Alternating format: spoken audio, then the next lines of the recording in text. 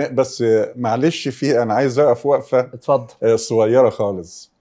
يعني الشحناء البغضاء الخصام بين الناس ممكن يوقف رفع العمل؟ نعم. نعم. آه تمام. يعني ربنا بيقول الحديث يعني تجيب كذا طريقة أو بكذا لفظ النبي أنا بس بقول علشان يعني ناخد بالنا من بعضينا لا يا شوية أستاذ محمد ده في ليلة ونكون هينين على بعض شوية ده في ليلة القدر النبي كان طالع يخبر الصحابة بليلة القدر لقى الشحناء اتنين بيتخ... بي- بيتش... بي... بي... وجد اثنين يت... يتشاجرا. فرفعت كأن الله قد أنساها أو أو النبي صلى الله عليه وسلم قد نسي ليلة القدر عشان بسبب الناس خصومة بسبب خصومة. ومشاجرة. فما بالك باللي بيحصل النهارده. حالة الاحتقان اللي بين الناس وبين بعضها ديت. آه. كان النبي صلى الله عليه وسلم دايما صلى الله عليه وسلم. وديت اللي أنا حابب عايز أقولها إن إحنا قبل رمضان لازم نطهر القلوب شوية من الهمم الدنيه والأفكار الدنيوية. قبل ما نرجع لطهارة القلوب ديت نتكلم إن رفع العمل فيه رفع العمل بشكل أسبوعي بش... قلنا بشكل أسبوعي في الاثنين والخميس في رفع العمل بشكل سنوي. آه. وده طبعا بيبقى في شهر شعبان. يعني العام الميلادي بينتهي في ديسمبر العام ال- المالي في يونيو العام التشريعي عند الله تبارك وتعالى في شهر شعبان. فكل مسلم عاقل لبيب عليه أن يري يري الله من نفسه الخير في هذه الأيام. قدم لنفسك خيرا ما دمت مالك مالك. من قبل أن تصبح فردا ولون حالك حالك. الله. وهيئ جوابا سريعا إذا سمعت سؤالك. ولست والله تدري أي المسالك سالك إما إلى جنة عدن أو في المهالك هالك. لأن النبي قال الشقي من حرم المغفرة في مواسم الرحمة. لما يبقى ربنا عامل لك زي أوكازيون رحمات ومغفرة وانت ما يبقاش لك نصيب من الرحمات ديت أو المغفرة. فحري بنا.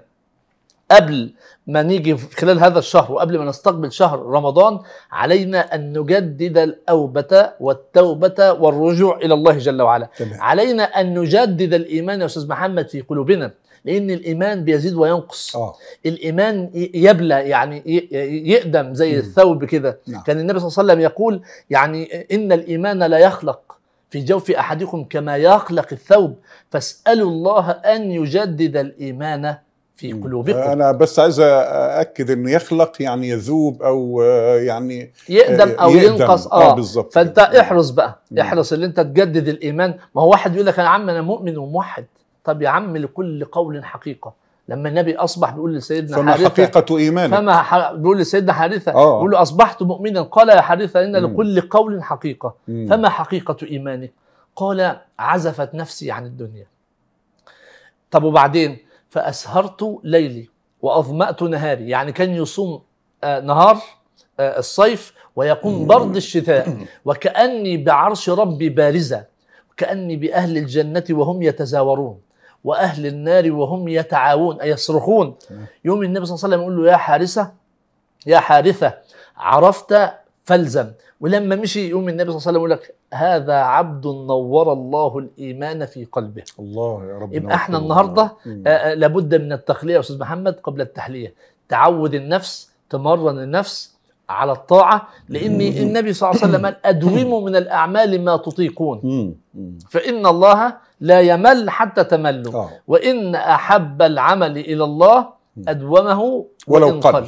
حاجة بسيطة تحافظ عليها مم. يعني آه، وتداوم عليها أفضل إن أنت توجهد نفسك في الطاعة وتيجي بعد يعني النهارده أنت تقربت إلى الله آه، قريت قرآن كتير صليت كتير آه، جهدت نفسك في الطاعة هتيجي بعد كده تحس بال- بال- بالفطور فهيئ نفسك. لأن الإمام علي بن أبي طالب بيقول النفس آه، آه، بين إدبار وإقبال يعني أحيانا الواحد يحس بحماس في الطاعة واحيانا يحس بالإيه؟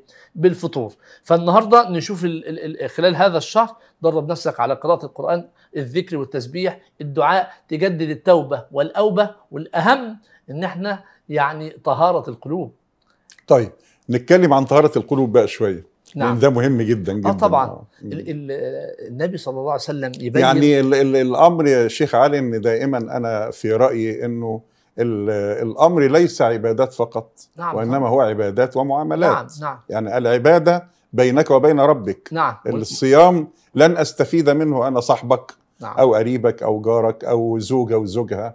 آه، يعني لن يستفيدوا من الصيام. نعم. إنما أنت الوحيد اللي يعني إلا الصوم فإنه لي وأنا أجزي به. نعم نعم. آه، الصلاة أيضا أنت اللي هتستفيد منها. نعم. يعني الحج أنت اللي هتستفيد منه. والصدقة. والصدقة برضو أنت تستفيد منها. لكن إحنا بنقول ال- المعاملات بقى اللي هي لابد أن يكون فيها موضوع القلوب سليم. نعم نعم. اتفضل. يا أستاذ محمد لما نيجي تبص الغاية اللي ربنا خلقنا عشانها إيه؟ هو ربنا بيقول وما خلقت الجن والإنس إلا ليعبدون. تمام. بس ربنا جعل لكل عبادة غاية. آه. يعني مثلا ما- أما أجي أسألك حضرتك بتصلي بتصلي ليه؟ مم. أنت بتحج ليه؟ بتصوم ليه؟ شوف عندي ربنا يقول في الصلاة وأقم الصلاة إن الصلاة تنهى عن الفحشاء يبقى لها والمنكر غاية مم. تنهى تهذب الأخلاق. مم. آه، إذا كان يوم صوم أحدكم فلا يرفث. فلا يرفث ولا يسخب وإن سابه أحد أو شتم فليقل اني أيضا الصيام يهذب الأخلاق. المعاملة والأخلاق. مم. الحج فمن حج فلا رفث ولا فسوق ولا ولا جدال جدال. مم. في الحج. الحج يهذب الأخلاق. الصدقة خذ من أموالهم صدقة صدقة تطهرهم. تطهرهم وتزكيهم بها. يبقى ممكن أكون بصلي وبعمل كل العبادات بس المعاملة. مم. كان الفيروز أبدي يقول لك واعلم أن دين الله كله خلق. فمن زاد عليك في الخلق زاد عليك في الدين. فيروز ابادي بالمناسبة بتاع لسان العرب. آه آه. يقول لك. فمن زاد عليك في ال في ال في الخلق زاد. عليك في عليك الدين آه.